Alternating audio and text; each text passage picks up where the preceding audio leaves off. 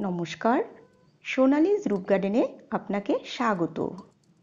সম্পূর্ণ দুর্গন্ধবিহীন তরল সার আমি কি করে তৈরি করেছি সেটাই বলছি।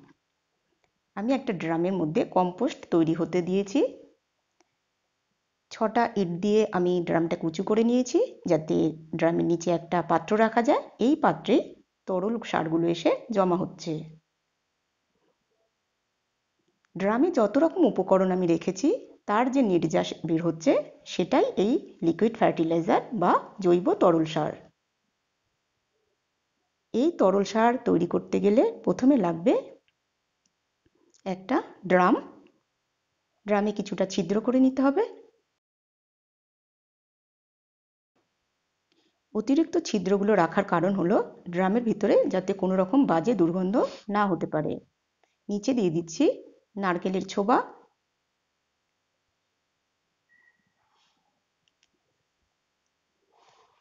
তার ওপরে কিছুটা বাগানের শুকনো লতা পাতা, অতিরিক্ত শক্ত জিনিস না দেওয়াই ভালো। আমি এটাকে দু থেকে তিন মাসের মধ্যে যাতে কম্পোস্ট তৈরি হয়, সেই জন্যই আমি হালকা জাতীয় জিনিসগুলোই এখানে দেব। তারপরে দিচ্ছি কিছুটা যেগুলো ছাদ ঝাড় দিলে যে মাটি বের হয়, সেই মাটির সঙ্গে পাতা সব মিশানো এগুলো দিয়ে দিচ্ছি।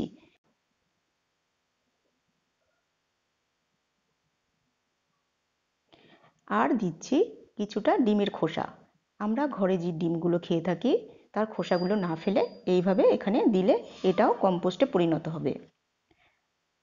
আর কিছুটা নিমের পাতা। নিমের পাতা দিলে খারাপ ব্যাকটেরিয়াগুলো এখানে জন্মাবে না। এখানে আছে কিছুটা গোবর সার, মাটি, পাতা পচা সার। আমি একটা বস্তায় রেখেছিলাম, সেগুলোও এখানে কিছুটা দিয়ে দিচ্ছি। এর মধ্যে যে অণুজীবগুলো রয়েছে, সেগুলো এই কম্পোস্টটা তৈরি হতে সাহায্য করবে। কিছুটা শুকনো কলার খোসা দিলাম।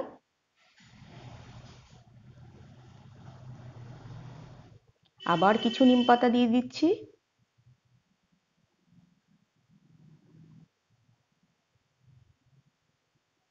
আমার কাছে যেহেতু অনেক নিম পাতা আছে, তাই আমি পরিমাণ একটু বেশি দিয়ে দিলাম। আর দিচ্ছি কিছুটা গার্ডেন সয়েল এর মধ্যে দেখা যাচ্ছে ছোট ছোট পোকা, এগুলো হেঁটে বেড়াচ্ছে, এগুলো কিন্তু মাটিটাকে উর্বর করতে সাহায্য করবে কম্পোস্ট তাড়াতাড়ি তৈরি করে দেবে।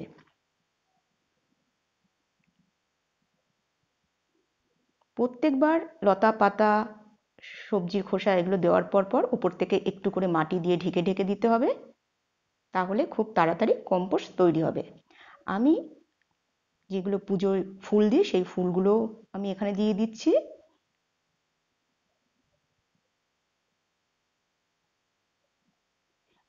ঘরে যা ফল খাওয়া হয়, যা সবজি, ফলের খোসা সব দেওয়া যেতে পারে।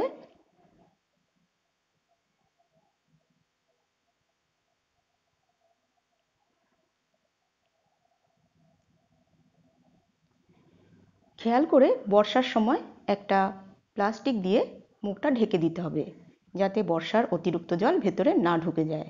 অতিরিক্ত বর্ষার জল ঢুকলে কিন্তু এগুলো বেশি ভিজে যাবে আর খারাপ হয়ে যেতে পারে।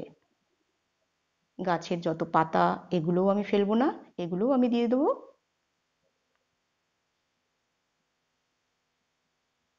যতক্ষণ না ড্রাম পুরো ভর্তি হয়, ততক্ষণ দিতেই থাকব।